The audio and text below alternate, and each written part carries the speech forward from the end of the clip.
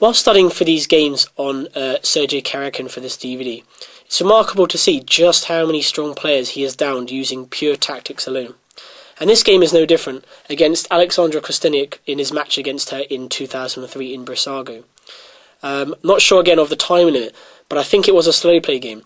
And they currently reach the position as you see on the board here, where it's a fairly level position from a uh, Sicilian Kalashnikov. Here we see, though, um, Karjakin play the move Queen to b6. Now, that move appears to just drop the pawn on d5. Now, if you yourself think, as the viewer, that you're an excellent tactician, and you haven't seen this game before, I would advise you to try and study as far ahead as possible what you can see, because I'm pretty sure that most of us wouldn't have seen what he saw. Um, it's a, an excellent uh, set of uh, tactics to down uh, black in this position. Now, black took the pawn on d5. Despite the fact that there are just two pawns here, black actually has some back rank checkmate problem ideas because the queen on f7 isn't really a good a good piece in that respect. Whenever white gives a check on the back rank, the queen is going to have to uh, blockade, uh, which you know isn't really a good idea in this position. So that explains Karjakin's next move, which is tactic number one.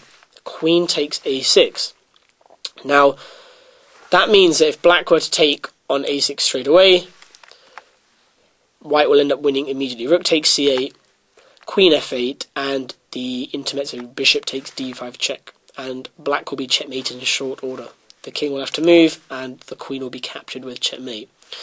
So that, of course, black would have seen. But both sides have actually exchanged a pawn for a pawn. So white has now two pawns on the queen side, but black has potentially two useful pawns in the centre. So this is okay for black at the moment. But uh, apparently black should have now played rook c to b8, and this would have kept the attack on the queen, and now attacked the pawn on b4. I'm not saying Karjakin chanced this idea, but uh, I think he just thought that basically after queen d3, the position was still quite good for him. He still has these two passed pawns, and he's going to just push them up the board at some moment. Um, but black still would have been in the game here. Instead, Kosteniuk spotted a tactic here. She thought she could get away with this idea. Now, of course, she would have seen the following moves, but there's a key twist, uh, sting in the tail that she has missed in this position. Rook c8 check, of course, winning the queen back. Now, where does the black queen have to go? We've already seen what happens if black goes queen f8 in this position. Black gets checkmated. So, of course, queen e8, and after queen rook takes e8 check, black played king f7. This appeared to be uh, to be completely winning because um, the bishop is attacked on b3, and the king is attacked like this. Actually, white does have a move to defend, which is bishop a4. Um, but Karjakin noticed a spectacular move in this position. Can you see what it is? He played rook to a8 a fantastic move in this position, um, and a move that most of us would, would really struggle to find. He simply puts the rook on a square where both of black's major pieces can capture it. But of course, the bishop cannot capture it due to the pin.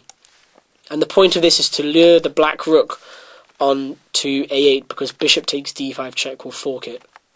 And uh, white is completely winning. A fantastic tactic, and it appeared just out of nowhere. And it really goes to show just how, if you study your tactics at any level, it will make you a better player.